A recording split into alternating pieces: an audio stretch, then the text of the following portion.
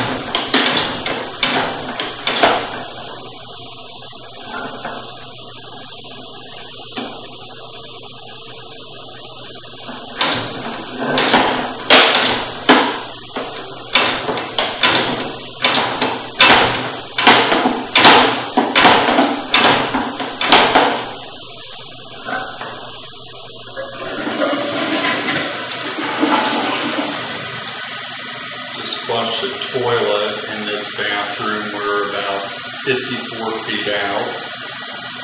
I do have the sink running also. Everything is flowing so far. There's the toilet flush I just made.